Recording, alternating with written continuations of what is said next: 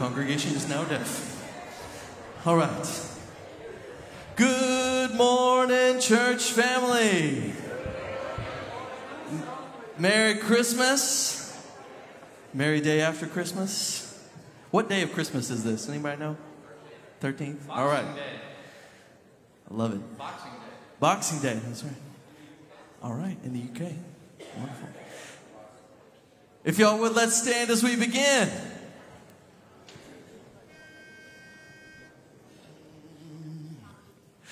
Come thou fount of every blessing, tune our heart to sing thy praise. Streams of mercy never ceasing, call for all of loudest praise. Teach me some melodious sonnet, sung by flaming tongues above. Praise the mountain fixed upon it, mount of thy meeting. Oh, to grace.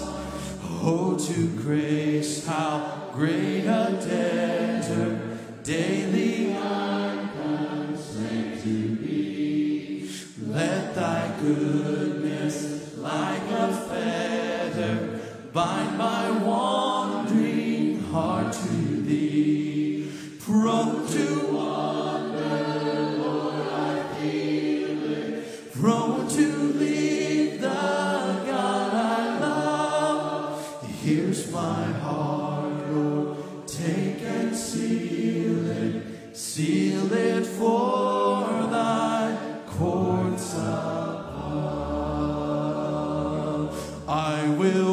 upon the Lord, who is worthy to be praised. So shall I be saved from my enemies. Sing it out. You know the Lord liveth, and blessed be the rock, and let God of my salvation be exalted. You know the Lord liveth, and blessed be the rock, let God of my salvation Jesus Christ, He died for me. He took away my sin. I will live with Him for eternity. Sing it church. You know the Lord and blessed be the rock, let the God of my salvation be exalted. You know the Lord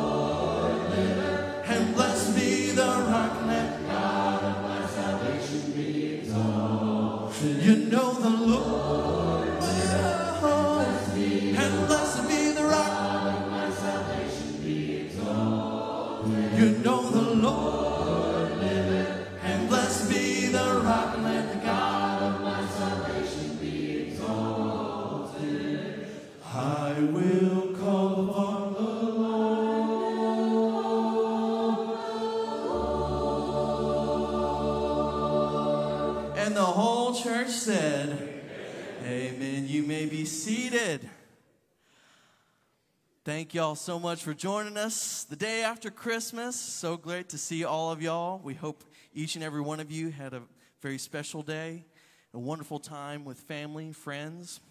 I know I ate too much food, but uh, that uh, seems to be a pattern here during the holidays. But I'm going to keep working on it. But uh, God is good all the time, and all the time, God is good. If you're joining us online, we want to welcome you as well.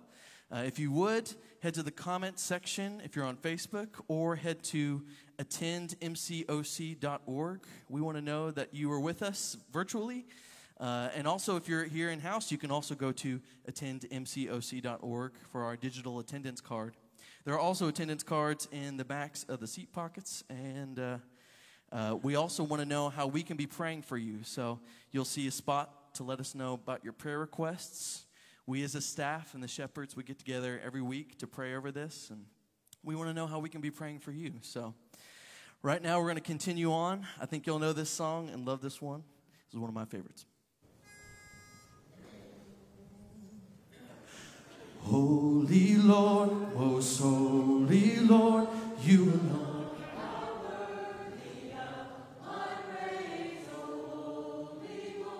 Most holy Lord, with all of my heart, all of my heart I sing, Great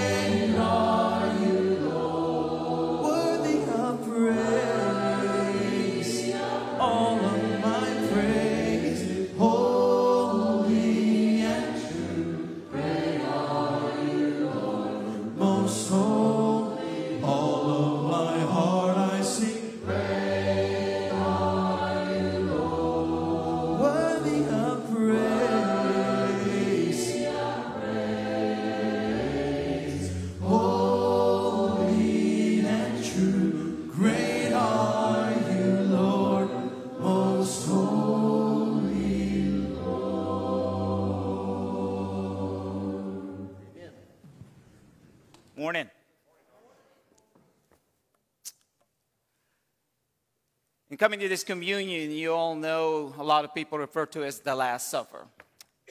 Well, the word Last Supper is not found in Scripture. The word Passover meal is. But the Hebrews call it Seder, S E D E R. The word Seder means order.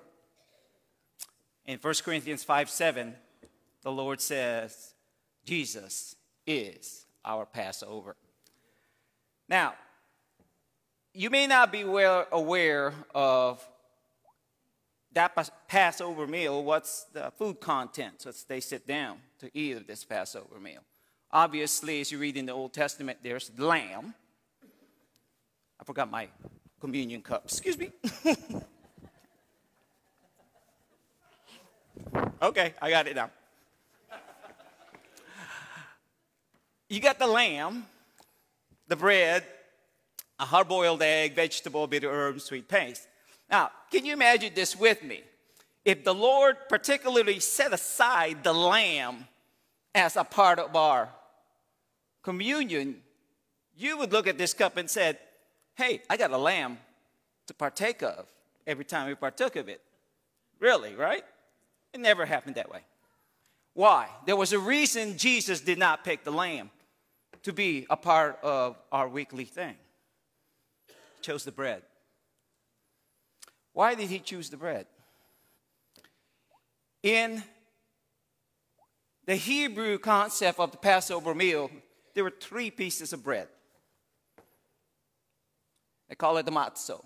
The first bread is put in a bag called an echad, never to seen again. The second piece, the most important piece that Jesus held, he broke it in half, as tradition goes.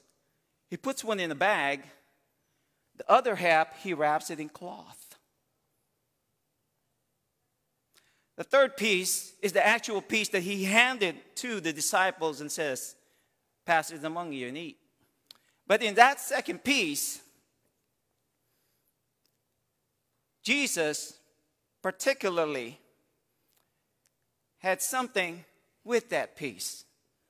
He said, Take, eat, this is broken for you. That it resembles his body. The other half that was wrapped in cloth resembled his burial being wrapped in cloth. And the matzo, that bread, had to be prepared a certain way. Three ways, most important way. It had to be unleavened. Leaven meaning sin in Scripture. The body of Christ had no sin. Number two, it had to have, had, that bread had to be striped, which means it represents Isaiah chapter 53. With his stripes we are healed, his wounds. And the last piece of that bread, it had to be pierced. Of course, you and I already know he was nailed to the cross. So, as you take out your wafer,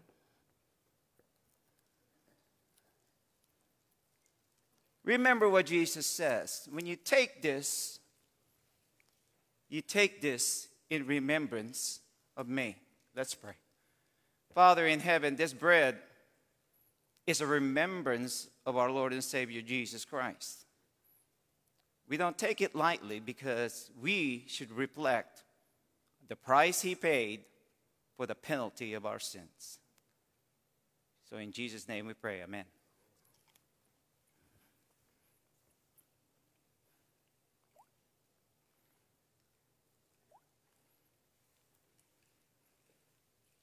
In the same way, in that table, there was the wine.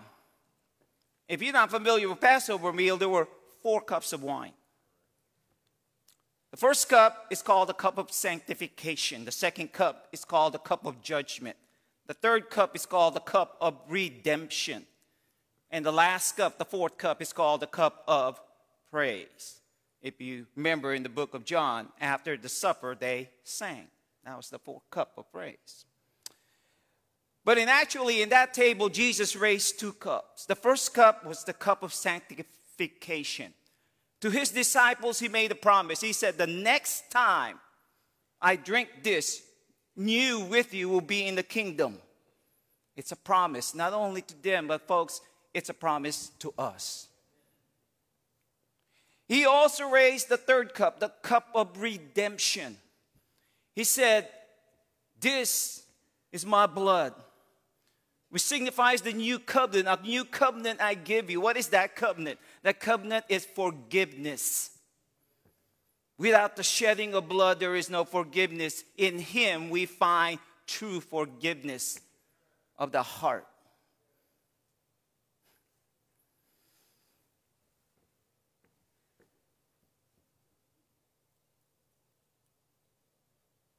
I'm going to make you guys look at God this morning intimately.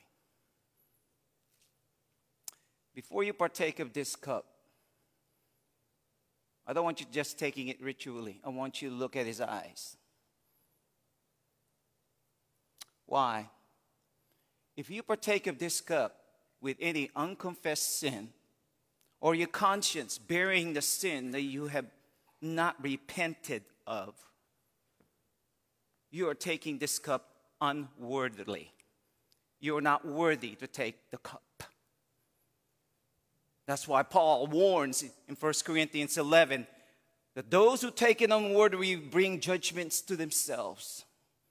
I want you to be honest with God. Look at your heart. Is your conscience pricking you? That's God saying, repent, turn around, confess to me that sin. Your confession is no good without repentance. You have to repent before you confess. When you break open that seal, that means you're telling God, I honestly am truthful with you, Lord. My conscience is cleared. Because if it's not, the more you go on in your sin, the more your heart is hardened. And Paul calls it in the New Testament a seared conscience, where God, God cannot prick you anymore. Examine yourself. As I pray for the cup, examine yourself before God. Repent of your sin. Turn around and confess your sin to Him that you be worthy to take of this cup. Let's pray. Father in heaven, hundreds of people here this morning, but I am so proud that you, the all knowing God, knows every single heart, mind, and soul. And your loving arms extends to all of us and says, Come to me. Tell me about it. What do you have going on? I want to hear. And I ask for their sake and mine that we bear ourselves open before we open this cup, and we may be worthy of you to take of it as a reminder of the death of our Lord and Savior Jesus Christ. In his name we pray. Amen.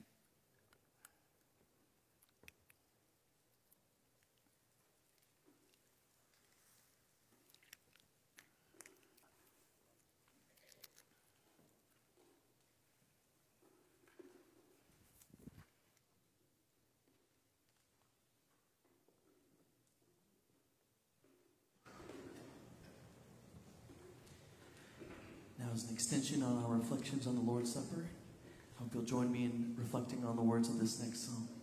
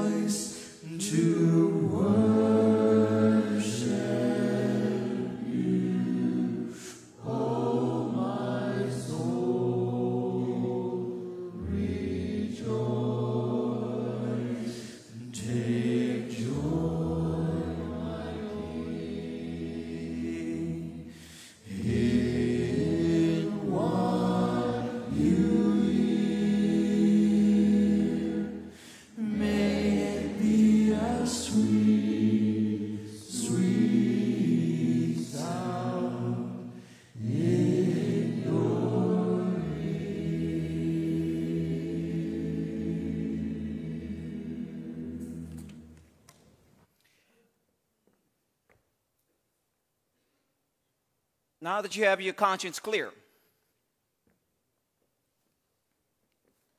it's time for God to prick you regarding what you would give to Him.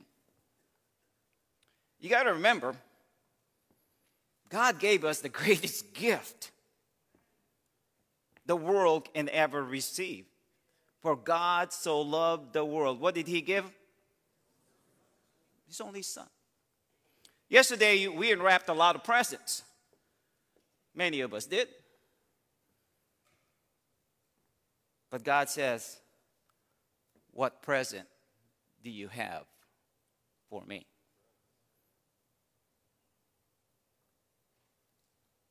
Is it deeply hidden inside your pocket, pocketbook, your purse, wherever? It's kind of like a test, guys. Kind of like a test. He owns it anyway. He's just wanting to see if you're willing to dig down and let go. Because the more you hang on to it, your conscience will start getting guilty. And remember, guilt is good in itself because it produces response. The response is repent. Let's turn around. Let's give to God what's already His anyway. That's what He's asking today. Let's pray. Father in heaven, you really don't need the funds that comes out of our pocketbooks or our pocket whatever. Because you, the great God who owns the entire universe and everything in it, can provide for any of your own. And you made that promise anyway. But this little exercise that you give us in this worship service is actually a representation of a kind of heart that we possess. Is it a heart dedicated to you? Is it a heart loyal to you? Is it a heart that you can mold, that you can teach, that you can comfort, that you can whisper sweet sound of heaven? And Father, that's your aim. And it starts with with a lot of people that has a tight grip on their finances. Father, I ask for your spirit to help them loosen up their grip, that they may offer that to you, which you would gladly accept in Jesus' name. Amen.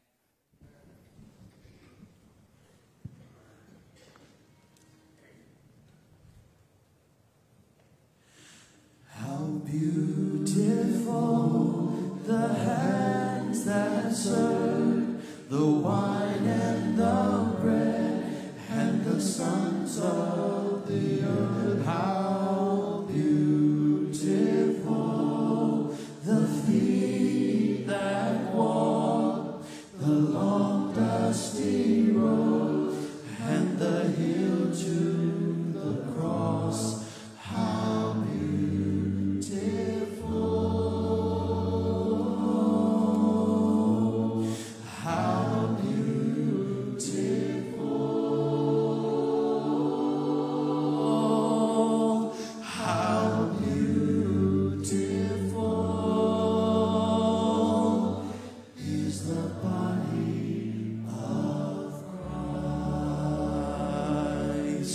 Wonderful, merciful Savior, precious Redeemer and friend.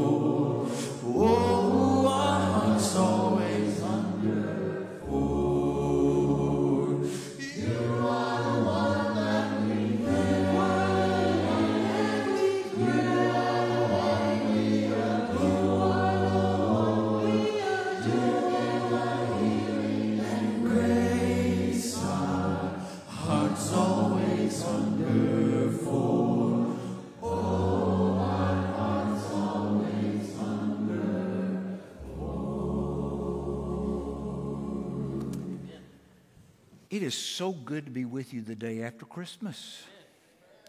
I mean, I, maybe some of you don't have this experience, but I know a lot of people have the experience of as you're kind of approaching Christmas, it gets busier and busier, and got all these things you got to do, and, and all, all this and kind of builds and builds.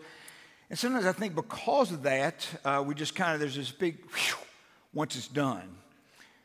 And in all honesty, I, I mean, I, I will have to confess, it would be nice if I didn't have to preach the day after Christmas because I, I couldn't really say until after we're done. But yet, there also is a sense in which all week long, taking time to prepare and to be working in the Gospel of John with uh, John's prologue, and then up early this morning and working with that, I'm very, very grateful. And I hope that some of what we say today will be helpful to you because I think one of the things we need to understand is that Christmas, this story of the incarnation of Christ, is not something you're supposed to kind of think about really intensely for a few days and then whew, be done. Instead, the incarnation is the doorway into the life and death and resurrection and the ascension and the reign of Jesus Christ. You can't just leave it behind like the wrapping paper off the gifts.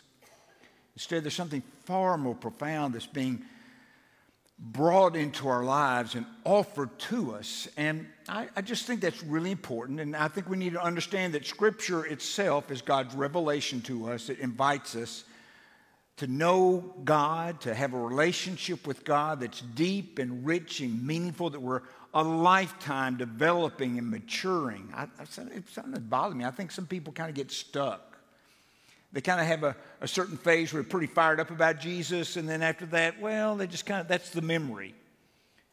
Instead of it being this uh, growing, dynamic, enriching, deepening reality in the presence of the Lord Jesus, who is our friend. He invites us to be not only his disciple, he does invite us to be that. But when you read in John, one of the things he talks about is he talks to disciples and says, I'm not going to no longer call you servants, I call you friends. And so, even what he's teaching us to, to change in our lives is to prepare us to enjoy a friendship with him. Without those changes, I could never enjoy that friendship with him. I'd always feel awkward, and embarrassed, and all that kind of stuff. But instead, he is creating a place in me that is able to really enjoy him fully. And he's doing that because he plans to bring me into the very presence of his Father so that I might enjoy being a part of all that.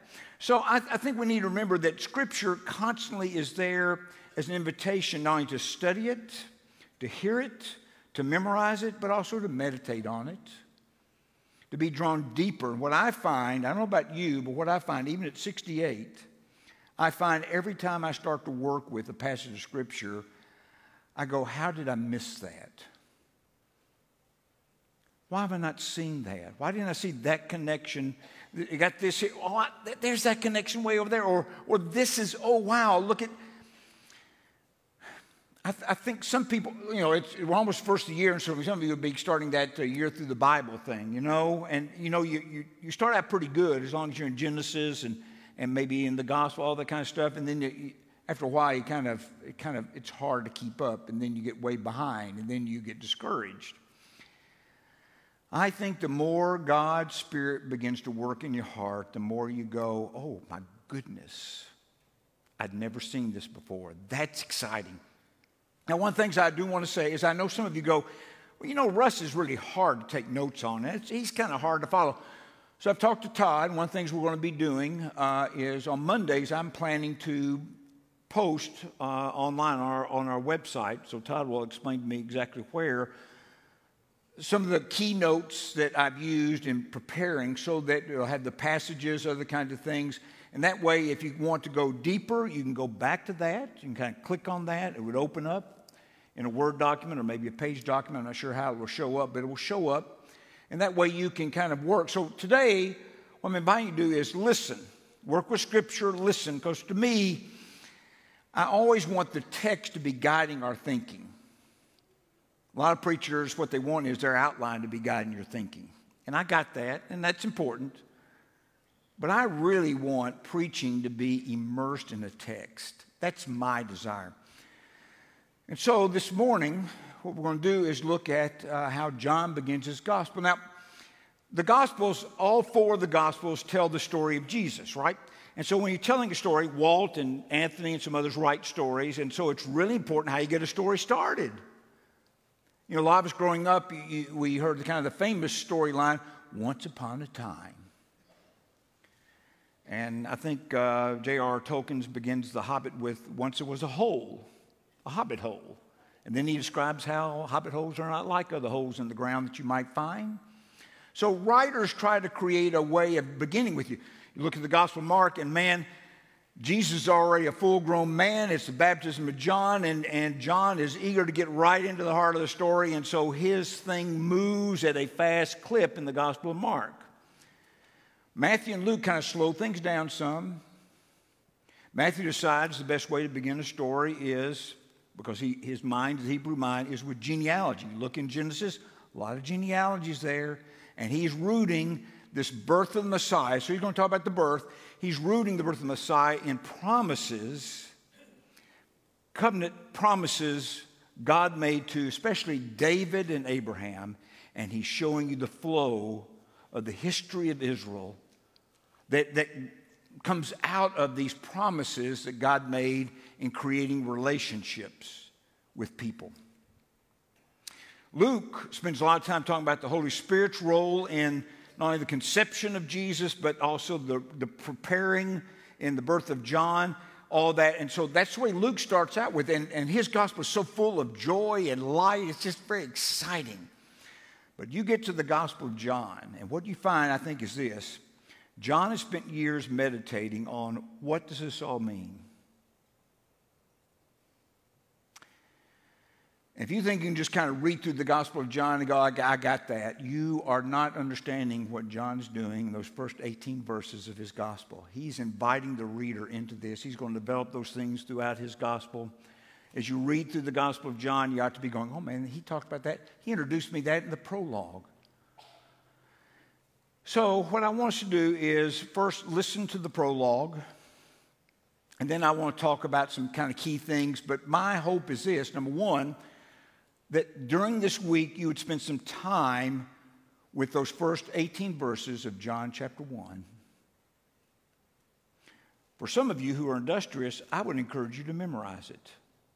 There are very few passages of Scripture that would more benefit you as a follower of Jesus than those first 18 verses of the Gospel of John because they're fairly familiar. They're not that hard to memorize. In the beginning, was the Word. And the Word was with God, and the Word was God. He was with God in the beginning. Through him, all things were made. Without him, nothing was made that has been made. In him was life, And that life is the light of all mankind. The light shines in the darkness, and the darkness has not overcome it. Now, there was a man sent from God whose name was John. He came as a witness to testify concerning that light, so that through him all might believe. Now, he himself was not the light, he came only as a witness to the light, because the true light that gives light was shining in the world.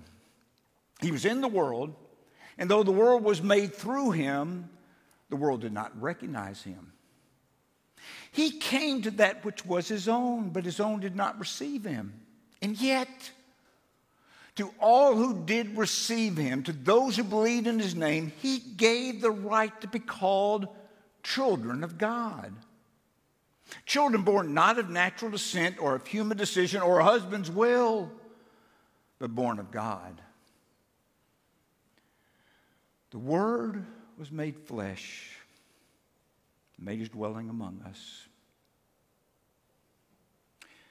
We have seen his glory, the glory of the one and only Father, uh, who came from the Father full of grace and truth.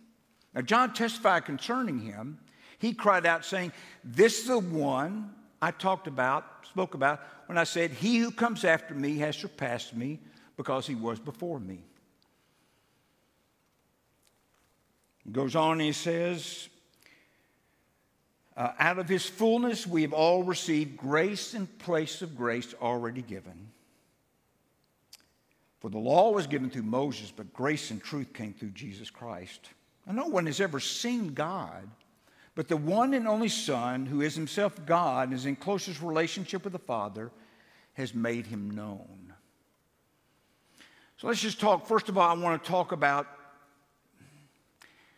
there is the wonder of the incarnation that John talks about. And then what I want to look at is there's this startling invitation that is made in this prologue of the Gospel of John where you have to make a decision will I receive what's being given or will I just kind of do things on my own? So let's look at that just briefly. So, first of all, I want to look at this, this wonder of the incarnation. So, when John begins his gospel, he begins with the beginning. He takes us, he, the reference there, there ought to be in your mind when you hear that in the beginning was the word. Where should your mind automatically go? Anybody know that? Where? Genesis chapter 1.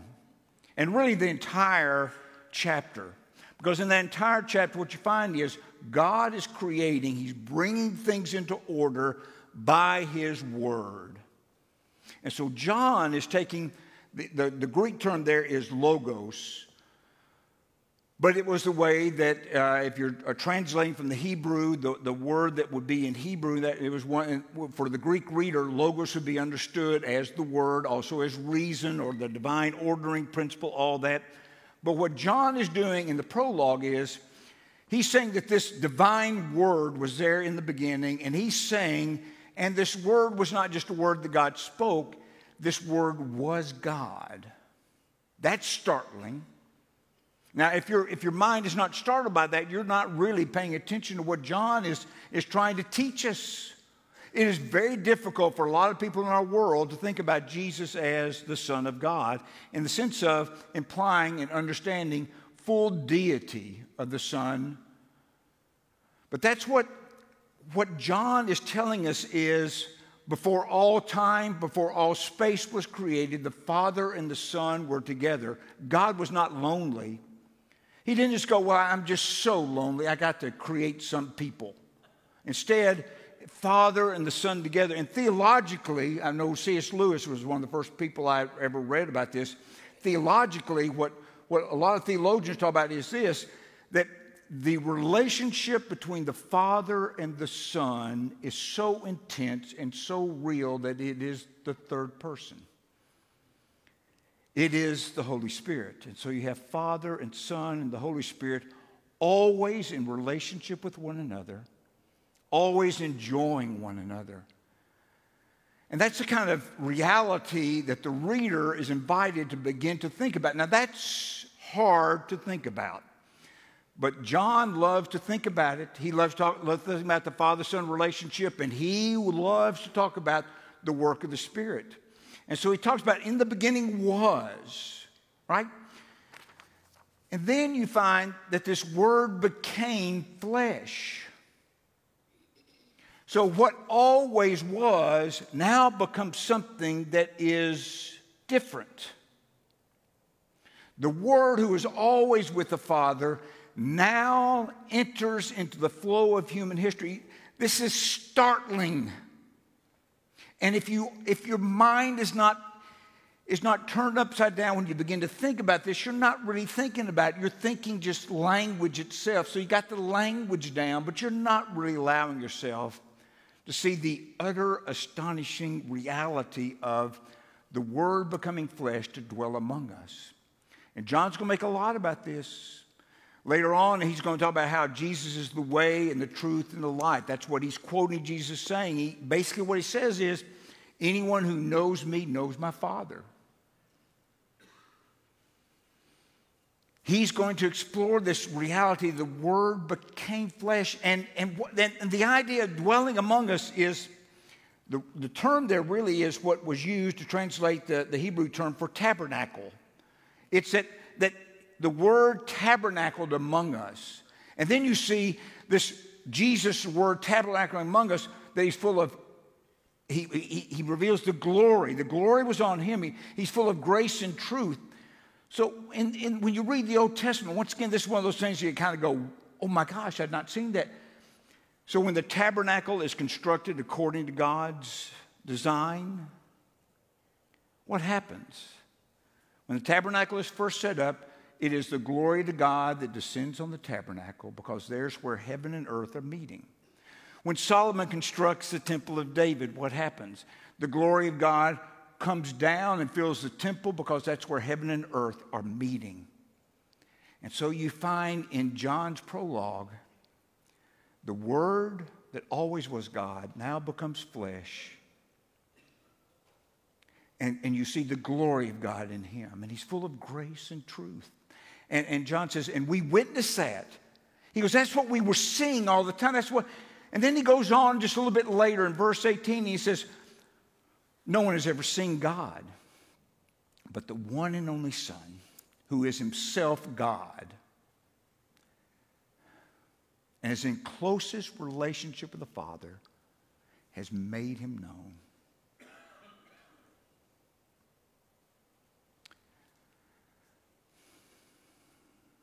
You talk about a deep love for you and for me. You see, this, this baby who became flesh, and so we're familiar with the story from Luke and Matthew, is born into a dangerous world and exposed to the suffering of this world. It is God's love that is dealing with our broken relationship. That's part of we go back now into the prologue. And part of what it says is, in him was life and the word there is Zoe, it's a spiritual life. He's not talking about biological life. He's talking about this spiritual life. In him was life, and that life was the light of the world. And he's talking about how the, wor- the light shines in the darkness, and the darkness does not overcome it. But let me just say this a little later on, he makes it clear the darkness does not want to receive it.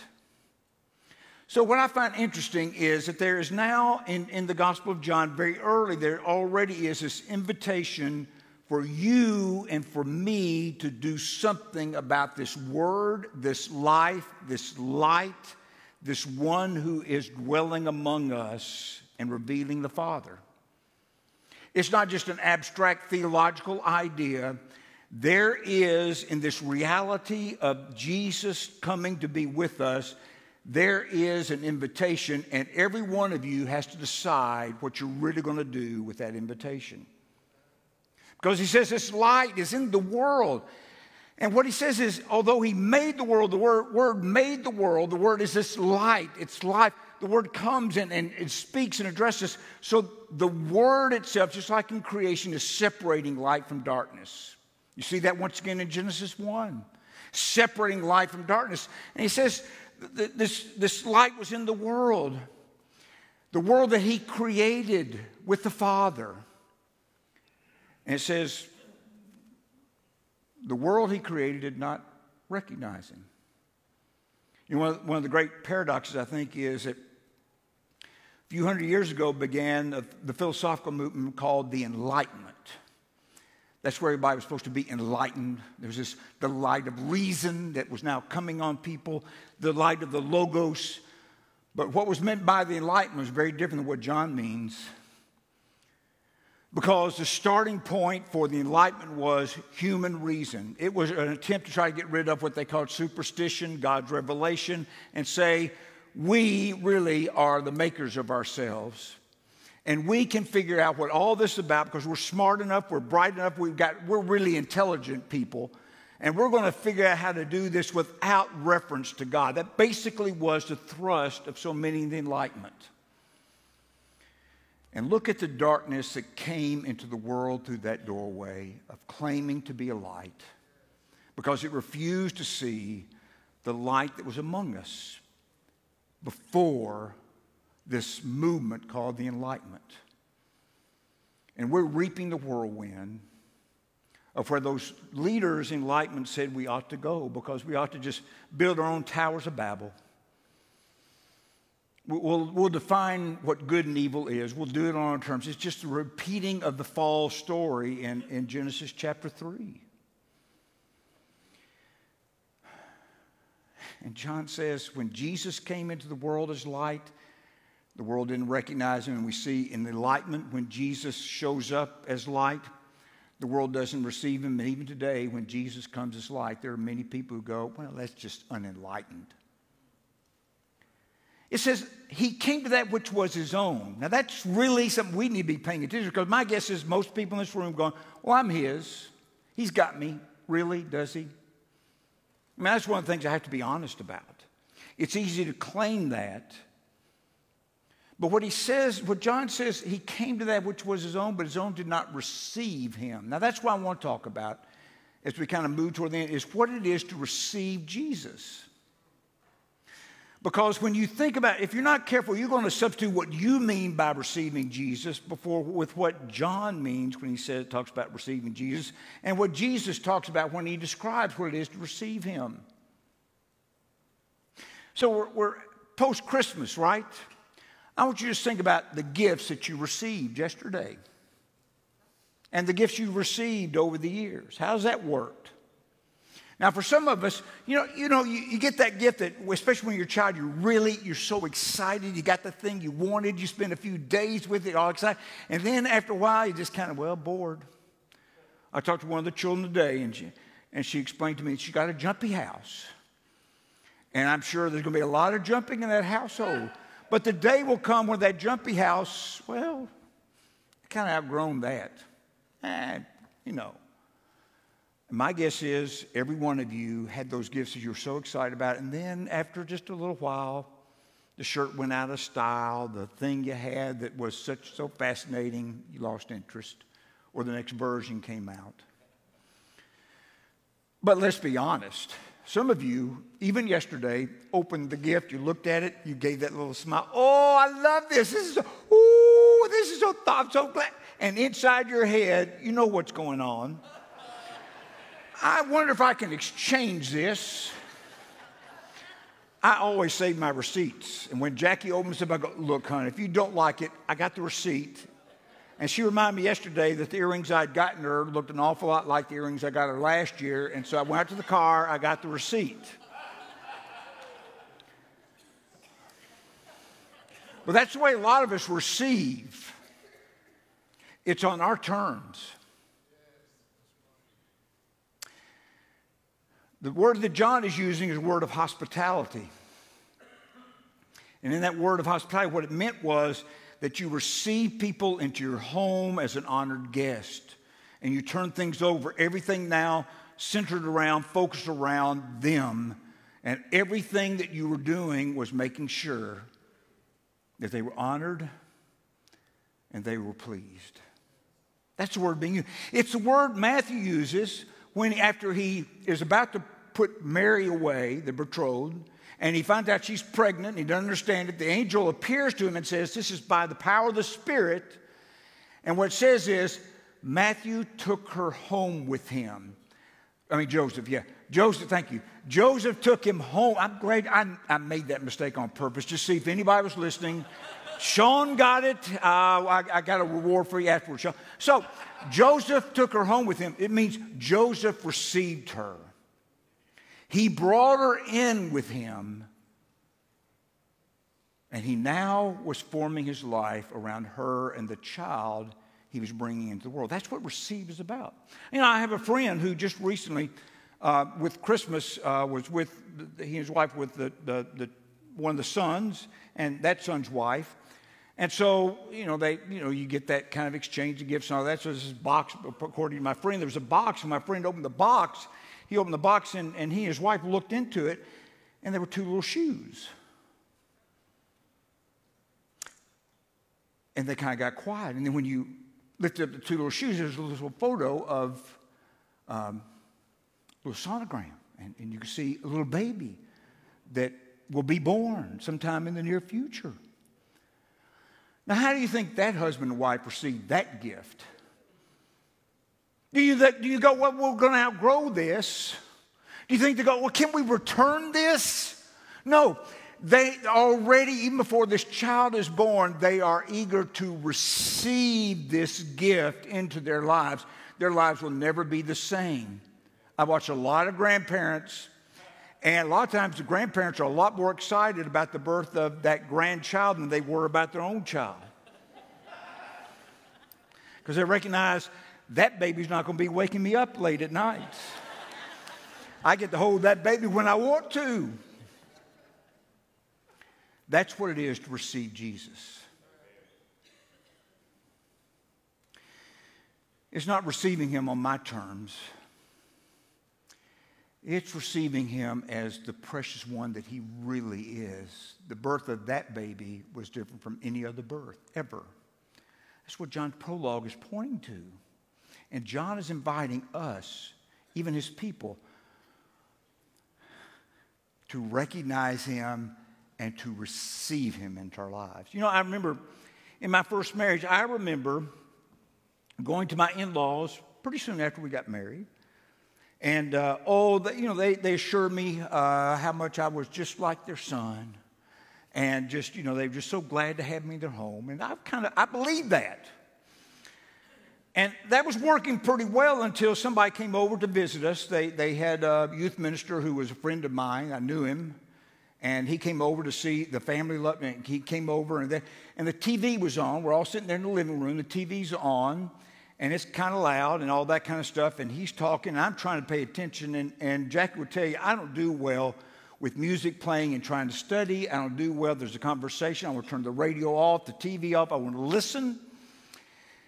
So all this was on, and so while he is talking, I just got up and I went over and I turned the TV down so you couldn't hear it anymore. When? After that guest left, this who was assured that, whoa, you're just like one of us, I got the not so private rebuke. I'm the hostess here, and you don't touch the TV without asking me if you can change it. Now, that made pretty clear my status. But that's the way a lot of us treat Jesus. We receive him, we talk about him. We say the right things about him. Oh, you're mine. Oh, I love, oh, yeah. But there are things that he is not supposed to touch without our permission. He, start, he starts meddling with that, and our response is not good. When we treat Jesus that way, we're not understanding what John is talking about in these first 18 verses and what he's elaborating in the story that follows. I think one of the things we need to understand is that my receiving, your receiving, our receiving Jesus, number one, is not just on our own terms, but also it is a daily receiving the presence of Jesus Christ in my life, whether you're at school, on the athletic field, whether you're at work, you're in retirement, in a conversation with somebody who just cut you off and actually dinged your car, and now you're really. He wants to be with us in our daily lives. I remember Dallas Willard talking about uh, Frank Laubach, who uh, wrote a little book called The Game of Minutes, and part of what this man was doing and was very successful at it, apparently, according to Dallas Willard, is he, the book's called The Game of Minutes, and his desire was every minute through the day to at least one second be thinking of Jesus as present. And that kind of became a spiritual practice. Constantly thinking of Jesus throughout the day, throughout the minutes of the day. And Willard uses a poem that I like. I memorized it, but I'm not going to try to quote it because you saw earlier. Sometimes when I try to quote, I get a little bit confused. So there's this, there's this poem called the, the Opening Door. I'll just share it with you. It says, and I try to use this every day of my life, kind of beginning in the mornings, but it says, along with reading scripture, spending some time in prayer. But this, this poem reminds me, it says, Enter, Lord Christ, I have joy in your coming. You have given me life, and I welcome your coming. I turn now to face you, I lift up my eyes. Be blessing my face, Lord Jesus. Be blessing my eyes. May all I look on be blessed and be bright. My neighbors and my loved ones be blessed in your sight. You have given me life and I welcome your coming. Be with me, Lord. I have joy, I have joy in my life with you. See, what, what that leads us to be thinking about is will I open this door of my heart? This open this door my mind, to open this door of the activities of my day and invite him be with me. And we'll post that. Uh, so if you want a copy of that, you can get it. But I was also listening to a sermon by Daryl Johnson on this, and uh, I've, adapted something that he talked about. I've changed it quite a bit, but I, I wanted you to be repeating after me because one of the things he talked about in his sermon was every church ought to be constantly inviting Jesus to be with us. Every church ought to be constantly asking the question Are we receiving Jesus? Are we open to Him? Are we are really the things the way we think, the way we do things, are we open to Him? Or are we mainly settled on the way we like to do things on our terms? See, this prologue begins to really mess with your life.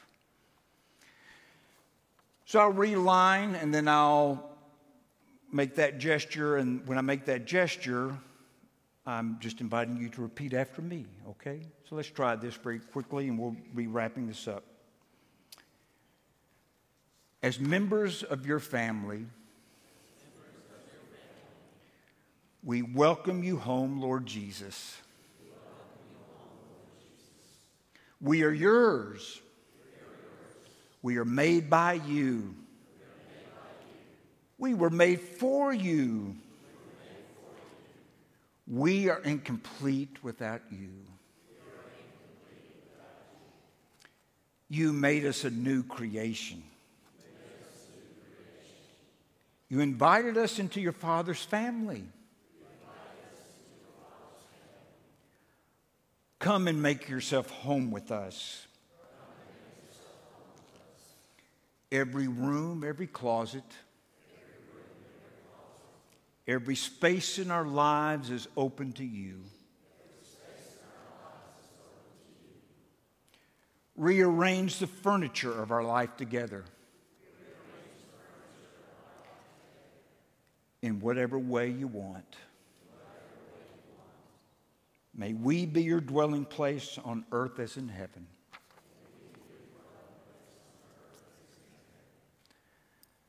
My prayer is that would not just be something you'd recite with me, but my prayer is that be the way we think about who we are as a church. Always inviting Him to draw closer to us, always eager to do whatever it is in our lives to allow the furniture to be rearranged so that He knows He really is at home with us and we are delighted in His presence. This morning, as we draw this reflection on the prologue of the Gospel of John, if you've not begun to follow Jesus, that's a decision you have to make. Will you receive him or reject him? The word has come, the light has come, the life has been offered. He who became flesh to dwell among us invites us to become the Father's children, and we become the Father's children not by our own wills, but by receiving Him into our life. Let's stand together as we sing. In need of grace, in need of love, in need of mercy raining down from high above,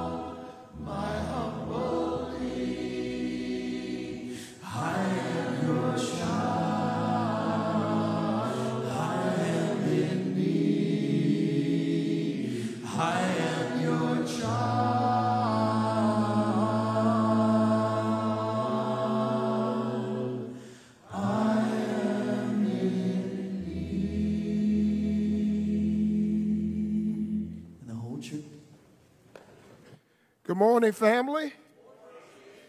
Merry Christmas and Happy New Year.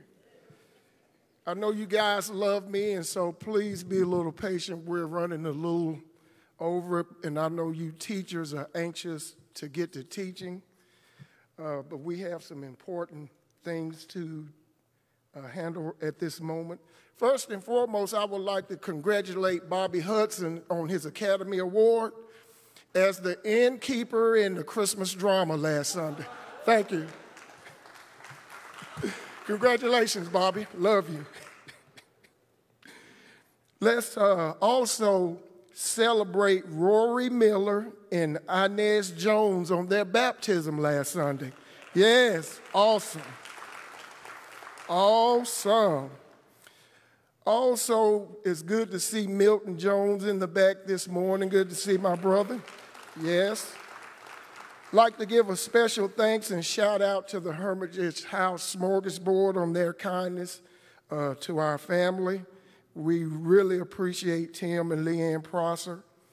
Uh, we need to recognize that uh, Ginger Turner is in Summit Hospital. I know Ginger is such a loving person.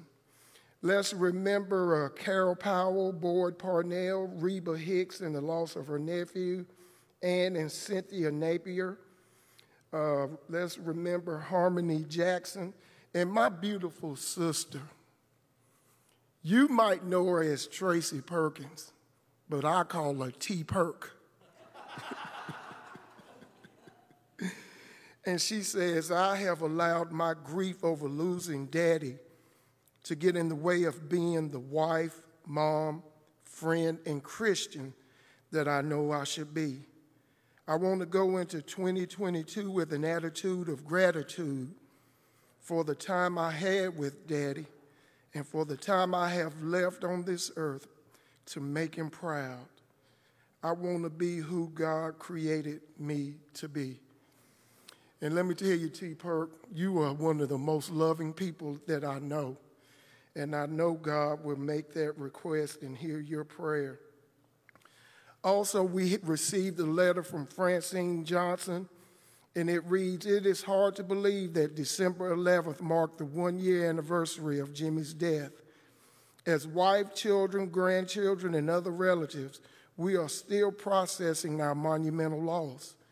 As we recap the past year, the family feels the need to express to you again how you carried us on angels' wings.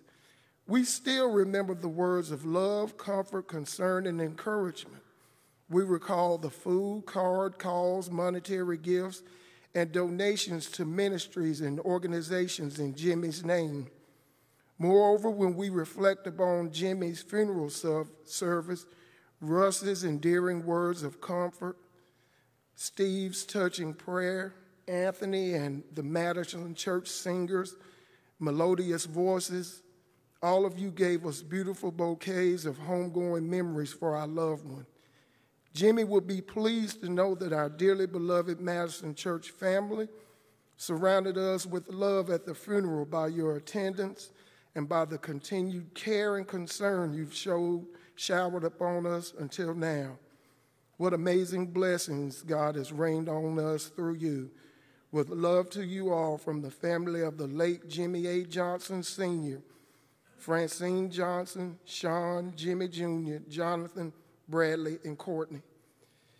At this time, I would like to ask the elders, the deacons, the staff to stand in the aisles because going into 2022, we need to pray.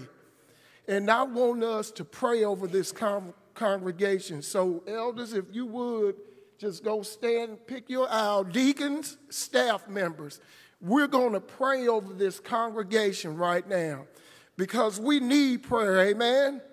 I mean, we have a loving, you guys are so generous. We're going to celebrate these new marriages. We're celebrating the new births. You young people keep having these babies. I love it. That's right. We live in a free country. We have some victories, but yet we have to pray. This pandemic is resurging. We're suffering from violent crimes, school shootings. It's an Amber Alert going on every day. People are, our young people and people are struggling with gender identity, natural disasters, addictions. Our children are under attack, social unrest, political unrest, mass incarceration, greed, and lust. We've got to pray. And if we repent, as Norm said, and turn from our wicked ways, God will heal this land. Let's go to the Father in prayer. Jehovah Jireh, you're our provider. Father God, I thank you and I give you praise, Father, for forgiveness. Father, I thank you for my beautiful wife of 38 years. She's my rock. Father, we as shepherds and deacons and staff, we pray over this congregation, your protection. Father, we pray that you will lead us and guide us into that light that Russ talked about. Father, we lift up Tracy that she will submit to your will. We lift up Jimmy Johnson, Father, and Francine. Father, please forgive us when we have characteristics of greed, of lust, of wanting our way, of indifference. Because, Father, you tell us in your word, in heaven will be people from all nations, all tribes, all languages, all peoples. And if we can't love here on earth, we're going to have a problem when we get to heaven. So let us love one another. Forgive us of our sins, Father. Thank you so much for Russ. Thank you for Anthony Lancaster, who is a kingdom man. I love him. Father, please be with our children, protect our children, seal our marriages. Father, let us be disciples of love. We pray this in Jesus' name. Amen.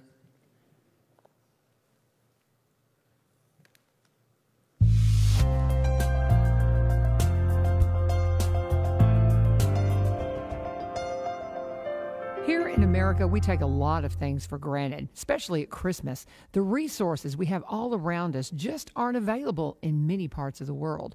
We recently enjoyed a visit from Natasha, Sasha, and Regina Maluga. Our Christian family are missionaries in Ukraine. Unfortunately, since their return home, the pandemic has taken its toll. They are again a country in lockdown, and three ministers of the Ukraine Churches of Christ have lost their lives to COVID. All of this, along with so many political uncertainties, has left Ukraine in a very vulnerable position this Christmas. So now is a time to pray without ceasing for our brothers and sisters in Ukraine. We've specifically reached out to them and asked them, what can we do for them? And they very clearly, very simply state, keep praying. South of the United States, the island of Cuba continues to be a focal point for our mission outreach. We were recently able to send some much needed financial assistance to help ease the difficulties facing our brothers and sisters in Cuba. Roberto Pino heads up the church in Havana, and Luis Sori ministers to the church in Trinidad, Cuba. The funds were sent to Roberto to use as he saw need, and he was able to transfer $500 to the church in Trinidad. The response from Luis was overwhelming relief. The money was desperately needed. The timing was perfect. It's amazing what a modest $500 donation can do in a place like Cuba. And the best news Roberto also reported several recent baptisms at the church in Havana, just in time for Christmas. New brothers and sisters in Christ in Cuba because you care. Please continue to fervently pray for our Christian family here and abroad as we continually seek to share the gospel message and work to be the hands and feet of Jesus Christ to our community and to the world. This has been a Missions Minute. Merry Christmas. Heads up next week is our first love offering of the new year. It'll be for benevolence, and uh, it'll be great. Uh, if y'all would, let's stand for our last song. I think you might know this one. One, two, ready go. All night we're singing out. He got his angels watching over me, my Lord. We're singing all night and all watching over me. Well, I went down to the valley to pray. Angels watching over me, my Lord. You know my soul was so happy that I stayed all day.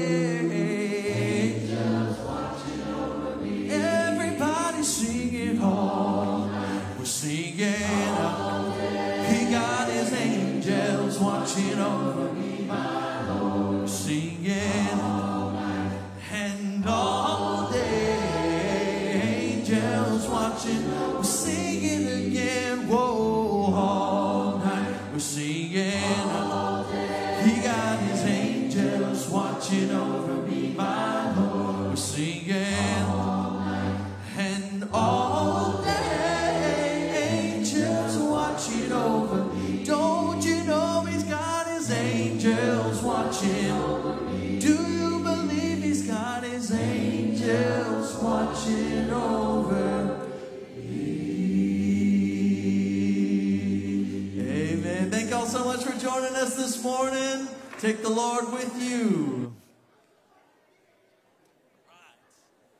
I can see the waters raging at my feet. I can feel the breath of those surrounding me. I can hear the sound of nations rising up. We will not be overtaken. We will not be overcome. I can dark and painful road. I can face every fear of the unknown. I can hear all God's children.